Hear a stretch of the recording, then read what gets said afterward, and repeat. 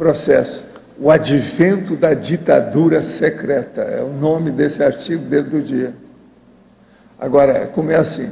Obama deu a si mesmo poderes ditatoriais em momentos calculados para desviar as atenções e frustrar a divulgação. A precaução acabou por se revelar desnecessária.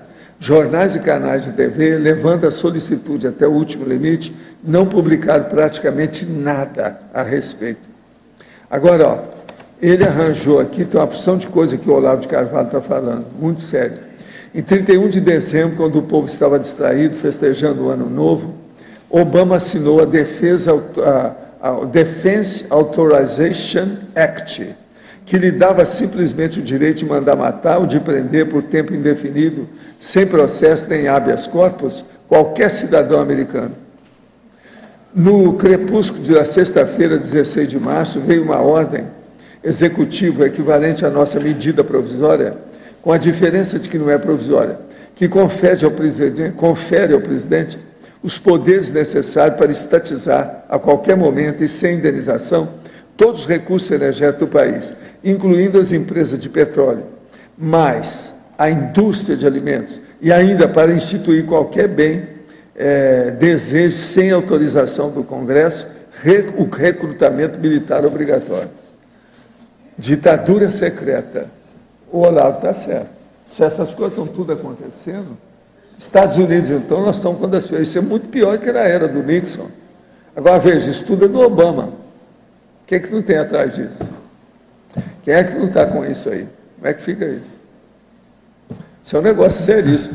O Olavo foi embora do Brasil porque estavam querendo matá-lo aqui. Por isso que ele foi para lá. Ele está lá, então ele está sabendo das coisas de cocheira, né? Na coxia, por, por baixo do pano, né? lá nos bastidores. Então o negócio é muito sério. Se alguém aí vê mais coisas sobre esse negócio do Obama, vocês arranjam para a gente. Não, eu, eu, é. fiquei impressionado, eu estava por fora, mas ele subverteu completamente todo o ordenamento jurídico. Tudo. Eles viviam criticando durante décadas aqui que não tinha estabilidade. Agora, se... depois o povo da reclama, o jeito que é que teve aqui ontem uma pergunta falando que nós somos contra o processo americano. Mas veja, a política americana do jeito que está, você não vai ser contra? Ele tem que ser. Agora, os judeus devem estar atrás disso aí. Eu preciso de ver o que é que se passa. Como é que é a situação, por causa do Pentágono. Isso aí é coisa do Pentágono. É, é, essa. O que manda nos Estados Unidos é o Pentágono. Quer dizer, o Obama deve estar amortaçado. O Pentágono deve estar superintendendo tudo dele. E isso que o senhor acabou de informar, ele poder fazer uma intervenção total, sem nenhuma reparação, eh, empresas pois de é. energia, de alimentação. Mas agora, ele... de saber documento dessas coisas. Pra... Se vocês arranjarem, arranja para mim que eu quero falar aqui. Isso aí é um perigo, gente. Isso, isso lembra muito. Os Estados Unidos ainda é uma, uma das nações mais fortes que tem por aí. Então, como é que fica isso? Uma ditadura escondida? Como é que fica? Underground? No, certo sentido. Eu sempre achei que era a ditadura dos judeus, por causa do Pentágono. Por isso que eu não quis ficar lá. Agora, a última vez que eu desisti de ficar lá foi em 66. São 36, 47 anos. Eu estava certo. Eu tinha metade da minha idade. Eles me convidaram para fazer pesquisa de ciência com as coisas todas. Em Bethesda. E também em Silver Spring, que é a, a, a fonte de prata lá. Professor. Na área de Maryland.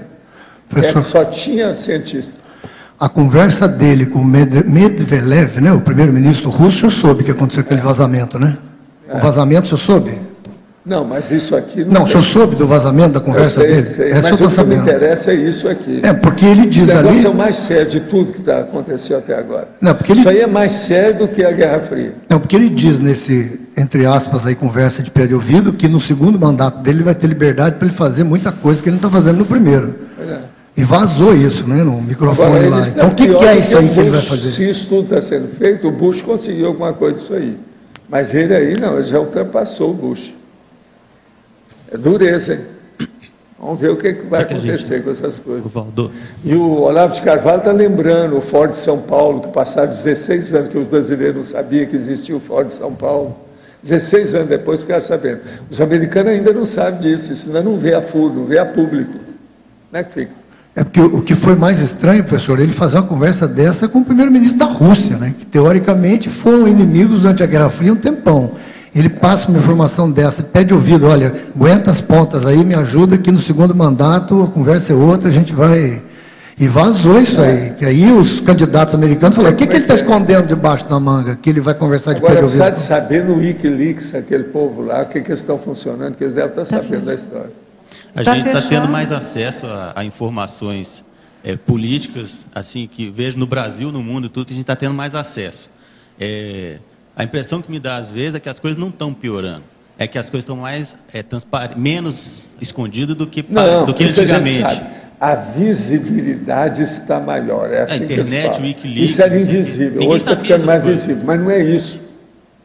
Essa é a condição. Se for com ele, isso é mais perigoso atualmente. Por quê?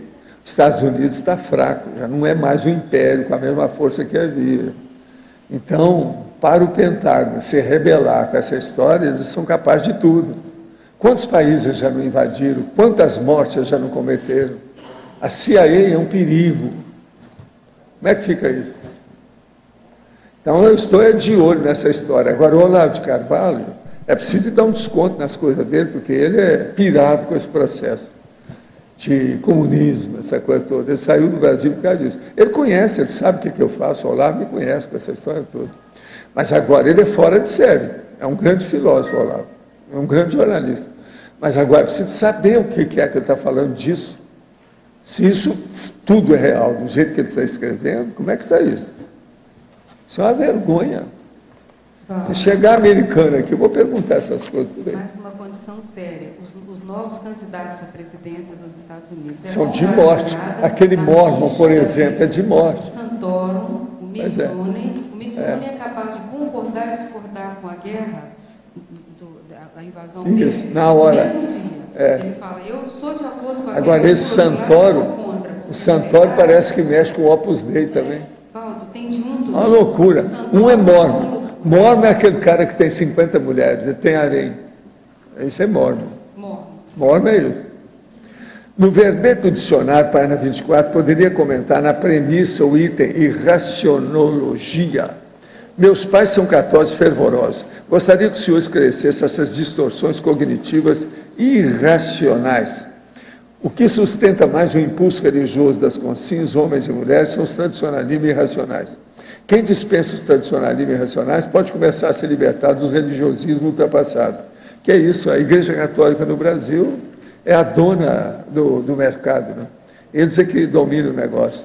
Faz aquelas catedrais, a, a igreja que nunca termina, que sempre tem que arranjar mais dinheiro, não acaba nunca. Ninguém vê para onde vai aquilo. O patrimônio da igreja no Brasil é uma loucura, e eles não usam nada disso, só fica na base da ostentação. Mas olha, tem tanta coisa, a igreja católica é um dos troços mais furados que tem.